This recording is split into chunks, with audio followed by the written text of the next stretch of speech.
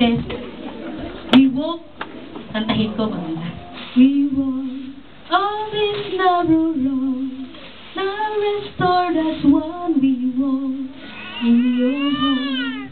And though darkness fills our path, fear won't fix its hold on us, for we know, and love will shine before us in our path.